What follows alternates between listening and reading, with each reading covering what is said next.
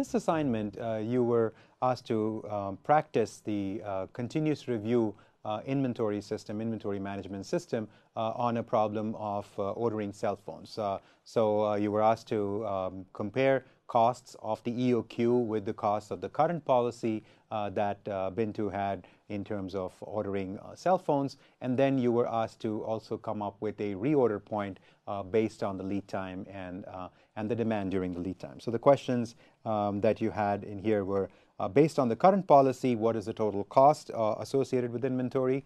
Uh, compute the economic order quantity, uh, which would be the, the uh, which would answer the question how much to order uh, in, in, when you are following the, the continuous review inventory system.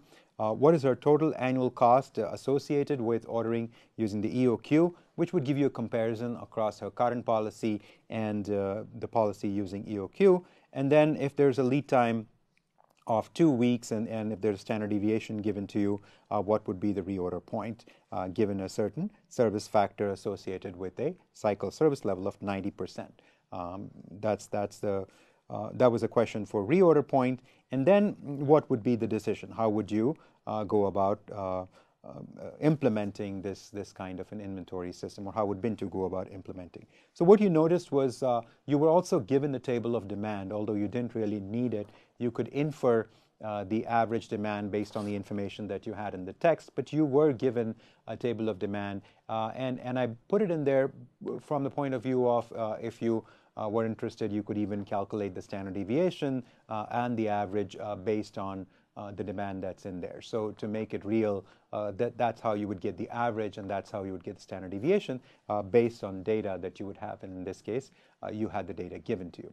Anyway, so, so let's start with the first question of uh, uh, given her current policy uh, of ordering um, a certain quantity every time she places an order, um, what would be her uh, ordering cost? Uh, what would be her total costs of uh, inventory management? So she was ordering 2,600 units every time she placed an order, and her annual demand for the four kiosks that she had at the mall were 10,000. 400 units. So that's the annual demand, 2,600 units uh, being ordered every time she placed an order, and therefore that gave you the total number of orders. So 10,400 divided by 2,600 gives you total number of orders in a year. Multiply that by the cost of ordering per order is $200, and that gives you uh, the ordering cost over a year of $800. So there were a total of four orders. She was only placing four orders in a year. Each cost her uh, $200, and the ordering cost was 800. dollars now, for the holding cost, uh, there was a little bit of uh, um, additional information that was given to you over and above the traditional percentage that we associate with holding costs. So um, there was a 11% holding cost uh, on a cost price of $50. Uh, so that was simple, 11.11 times $50. But there was also this uh, insurance cost that was given uh, of a one cent per week and 52 weeks in a year, so uh, 1 cent times 52 weeks.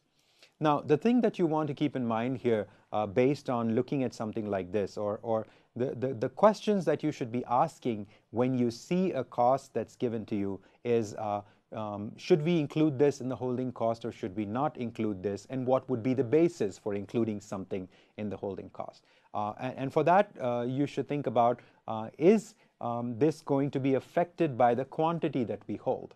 So for example, if you're, if you're paying rent uh, for your shop, uh, and that is not affecting or that is not uh, going to be based on the quantity that you hold, you're not going to take that rent and, and try it uh, to, to associate it uh, with the holding cost for the inventory that you're holding. Uh, if you have a, a certain degree of a theft, you're losing a phone per week. Now that is, you're losing a phone per week based on, on some reason. if you're losing a phone per week or you're losing a, a phone every 10 weeks uh, and it's based on uh, either being stolen or uh, depreciation from it being a, a show piece, a showroom piece uh, that people get to try. Uh, that's not that something that's going to vary based on the inventory that you're holding, so that should not be included uh, in the holding cost. So those are the things that you want to keep in mind from a practical perspective what should you include and what you should not include in your holding cost. But here uh, it was clear that there was uh, a, a quantity-based uh, uh, insurance cost of uh, a cent per week, so it's 0.01 uh, for 52 weeks per phone, right? So that's what we're going to include in the holding cost. So, um, so that's why it's included there. And then um, you take the holding cost um, for a single phone over a year, and then you, um, so it's, it's a cost of, um, if you were to hold the phone for a year, that would be the, the, the, cost of it, and then you multiply by the average inventory. And in this case, the average inventory would be uh, 2600 divided by 2. Um, the the uh, assumption that is implied in this 2600 divided by 2 is that when she's buying 2600, uh, there's a continuous replenishment, uh, continuous uh, depletion of that 2600 uh, over the period uh, that it, de it, depletes to, to zero, and then she gets another 2600. So we take the average of the starting and the ending being 2600 and zero, and then the, the average works out to 1300. So based on that, you get a total holding cost for a year of $7,826. So total cost of 8,626. Um, from this, you can see a sense, uh, you can get a sense of uh, that this must be far off from uh, EOQ. The 2,600 units um, order quantity would be far off from EOQ because what should happen uh, if, if she was ordering something close to an EOQ? What would have happened is that the ordering cost over a year would have been close to the holding cost over a year. So here it's, it's quite uh, far apart, 800 versus 7826. So it's telling you that uh, uh, her order quantity is, is going to be far off from the EOQ. So let's take the next step and actually compute what the EOQ is. Uh, so for that, we have the annual demand, we have the setup cost. The annual demand uh, is 10,400 units. The setup cost is uh, 200 units and you divide that by the holding cost. The holding cost is calculated separately for you up there, although we calculated it uh, earlier as well on the previous slide, $6.02. So uh, you take that uh, calculation and you get 831.28 units. Uh, since you're talking cell phones here, uh, decimal points are not going to have any meaning, so uh, you are going to say we're going to round it to 831 units. Now, if you remember that the EOQ is, is robust to uh, the, the Q star, moving from Q star a little bit to the left or to the right. So um, you going above or below the optimal quantity a little bit is not going to affect uh, total cost too much. And if you want to, to see how it affects, you can even make a spreadsheet and, and keep calculating ordering costs and holding costs at different quantities above and below 831, and you'll be able to see how much difference it makes in the total cost when you move away from that. But that wasn't part of the question, uh, so, so let's move on to, um, uh, to what would be the total cost uh, based on this EOQ. What would be the uh, total annual cost of, of uh, uh, inventory management associated with uh, using the EOQ as uh, to, to, to decide how much to order. So uh, if you take the ordering cost separately and the holding cost separately, for the ordering cost you need a total number of orders. So total number of orders would be 10,400 units uh, of annual demand divided by 831 units that she would order every time she would place an order. You multiply that by the um, order cost of ordering every time you order or every time she orders. And that works out to $2,503.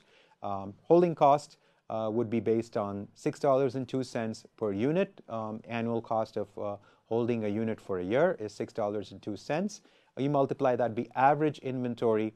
And once again, the average inventory is going to be simply Q divided by 2, um, given the assumptions that, that we talked about a little bit earlier. And, and that cost works out to 2,501. So 2,503, 2,501, you notice that they're close to each other. Uh, subject to rounding, they should be um, close to each other uh, to, to, uh, to the extent of a few decimals, right? Uh, so uh, if you would have taken exactly the, the order quantity that we got from the EOQ, you may have got uh, even closer numbers than 2,501, 2,503. Nevertheless, the total cost works out to $5,004. Now, you could have used uh, the, the other formula that we had talked about associated with EOQ, uh, which is uh, under square root of 2 times the annual demand times the setup cost times the annual holding cost, and you would have got uh, the exact same number. And, and you can check that. You would get approximately uh, 5,004 as the total cost using that formula as well. All right, so um, given that we have this decision of if uh, uh, Bintu is going to follow the continuous review system uh, and she's going to use the EOQ to decide uh, how much to order, um, how would she decide uh, when to order.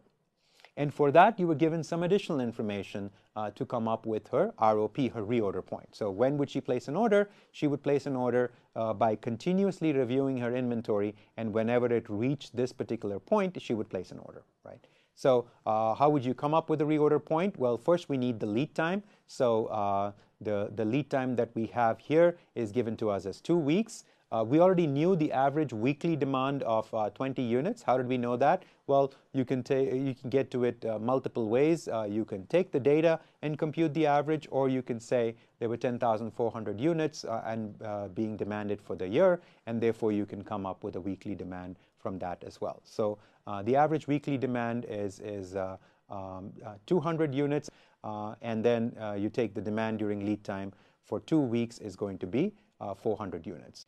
The safety stock uh, that you would calculate based on uh, the idea that uh, she wants to cover uh, up to 90% uh, for uh, of the demand during the lead time. So we have a multiplier of 1.28 coming from a, a, level of 90% service that she wants to maintain. we have the standard deviation that is computed as 29 based on the data that you have, but the standard deviation is also given to you, so you could have used 29 there, uh, and then you take uh, under square root of 2 to, uh, to convert this weekly standard deviation to standard deviation during lead time. So you multiply that by square root of 2, and you get 52.49 for the safety stock. So uh, what do we have here? We have uh, demand during lead time of 400 units. We have safety stock of 52.49 units. Uh, so the reorder point works out to demand during lead time plus safety stock works out to 452 units. Uh, so uh, that would be her reorder point. And based on this, the, the last uh, aspect that was asked uh, of you is uh, how would you implement uh, this, this continuous review system for her? So what would be the decision rules for her? order 831 units, which is the EOQ, whenever the inventory reaches 452 units. So this would be her continuous review inventory system based on EOQ and the reorder point.